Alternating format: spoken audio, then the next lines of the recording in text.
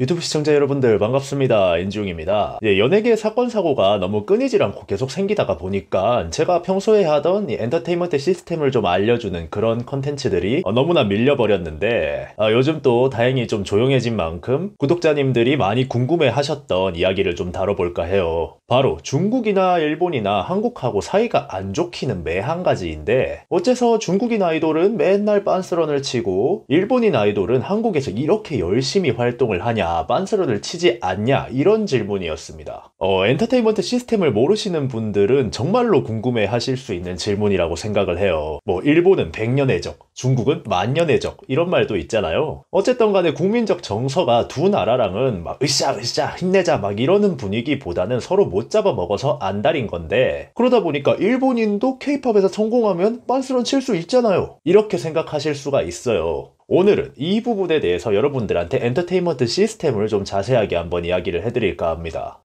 뿅. 우선 저는 개인적으로는 한국인 멤버로만 이루어진 그룹들을 좋아해요. 무슨 문제가 생겨도 국내에서 다 해결을 할 수 있고 국가 간의 정치 싸움에 휘말릴 일도 없으며 확실히 한국의 케이팝 시스템에 잘 적응하고 따라오는 사람들은 평생 한국에서 자란 한국인 멤버들이 잘 따라오죠. 그리고 뭐 트와이스 같은 경우는 일본에서 일본인 멤버 덕에 트와이스가 성공했다 이런 식으로 홍보를 하고 여자아이들 같은 경우는 중국에서 중국인 멤버 덕에 성공했다 이렇게 얘기를 하죠. 어차피 케이팝 아이돌인데 무슨 자꾸 자기 나라 사람들 덕에 성공했니 안 했니 이런 헛소리 하는 꼴 안 봐도 되고요. 그런데 일단은 우리나라의 내수 시장이 너무나 좁은 관계로 어쩔 수 없이 외국인들도 받아서 시장을 좀 키워나가고 있는 실정인데 왜 하필 중국인 멤버는 늘 비둘기 마냥 떠나가고 일본인 멤버는 너무 힘든 스케줄에 쓰러지더라도 어떻게든 다시 돌아와서 한국에서 활동을 지속하려고 할까요? 제가 생각하기에는 국가별 엔터테인먼트 시스템의 차이 때문이라고 생각합니다. 제가 중국에서 엔터 생활 접고 한국으로 딱 들어왔을 때 가장 처음 들어온 제안이 뭐였냐면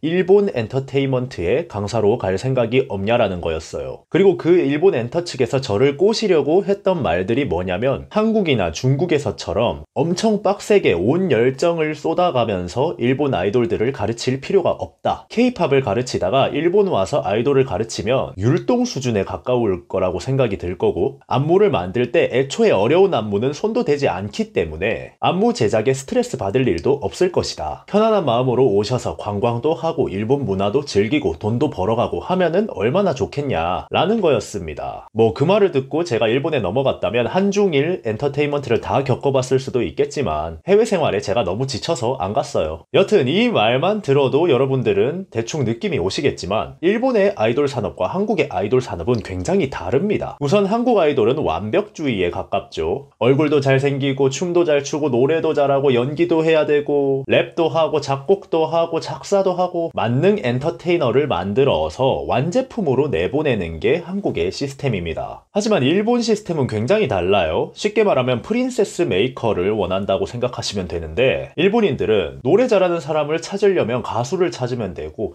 춤 잘 추는 사람을 보려면 댄서를 보면 된다. 아이돌은 그저 우상으로서 남으면 그만이다. 이런 생각을 가지고 시스템을 구축을 해놨어요. 그러니까 춤 잘 추고 노래 잘하고 뭐 이런 것도 중요하지만 가장 중요한 거는 캐릭터성이죠. 사람들의 마음을 어떻게 끌어모으는가. 뭔가 백치미가 있다던가 아니면 엄청 똑똑한 컨셉이라던가 뭔가 덕후들 마음을 끌어모을 수 있는 하나의 캐릭터가 실력보다 더 중요한 부분으로 작용을 합니다. 실제로 일본 아이돌보다 일본 중고등학생들 그 댄스부가 춤을 더 잘 춥니다. 일본 중고등학교의 댄스부는 굉장히 상당한 실력을 보유하고 있거든요. 이렇다 보니까 일본 아이돌 출신이 한국에 아이돌로 진출하는 경우가 아주 극소수 있지만 보통 일본 내에서도 케이팝 아이돌을 꿈꾸는 사람들과 일본 아이돌을 꿈꾸는 사람은 준비할 때부터 다르게 준비를 해요. 일본 아이돌 시스템은 10대 초반 부터 시작해서 20대 초반이면 은퇴를 하게 됩니다. 미숙한 내가 팬들의 지원과 사랑을 받아서 점점 성장하고 키워지는 느낌을 강하게 주는 시스템이죠. 한국의 아이돌 같은 경우는 어렸을 적부터 아주 긴 시간을 투자해서 여러 가지 가능성들을 완성시킨 완제품으로 등장을 시키죠. 이렇게 시스템 자체 자체가 완전히 다르기 때문에 한국에서 아이돌을 하는 일본인 멤버들은 일본으로 돌아가서 활동하기를 별로 원하지 않습니다. 반대로 중국인 아이돌 같은 경우는 중국이 C팝 시스템 자체를 K팝 거를 그대로 갖다가 베껴서 썼기 때문에 빤스런에서 돌아가도 똑같은 시스템 안에서 생활을 할 수 있는 거죠. 그렇기 때문에 본인들이 빤스런 해도 그렇게 크게 영향이 없는 거고요. 뭐 실제로 중국에서 제일 잘 되고 있는 엔터테인먼트가 위에화 엔터테인먼트인데 그 회사를 슈퍼주니어 한경이 SM 시스템을 그대로 들고 가서 만든 회사라는 거 제가 다른 영상에서 되게 많이 말씀드렸었죠.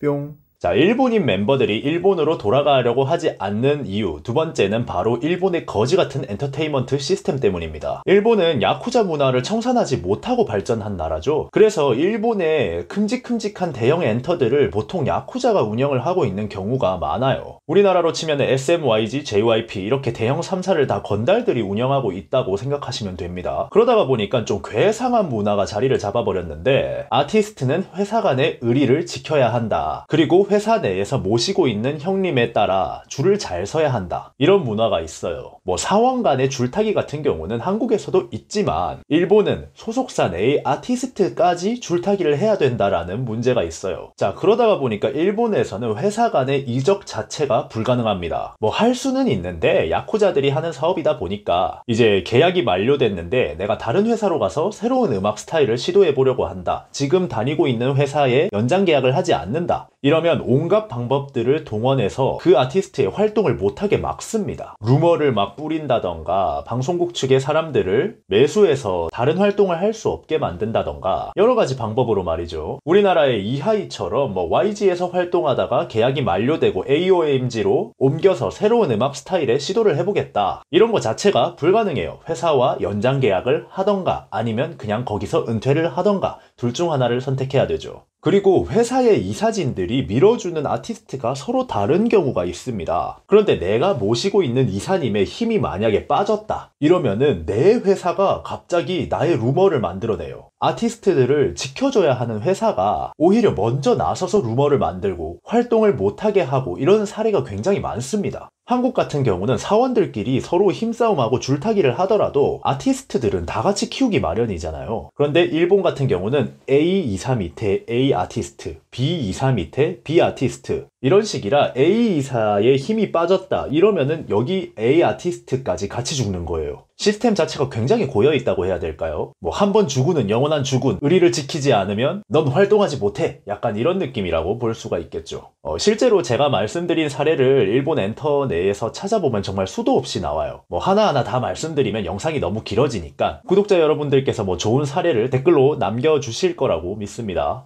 뿅.